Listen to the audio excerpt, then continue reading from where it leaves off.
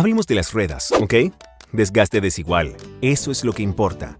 Acorta la vida útil, afecta al rendimiento y compromete la seguridad y la protección de los ocupantes. Sucede en todos los vehículos. La solución, rotar neumáticos. No hay truco. Piensa en ello. Las ruedas delanteras normalmente cargan con todo el peso del motor, además de realizar el esfuerzo de dirección, por lo que tienen un desgaste diferente que las ruedas traseras.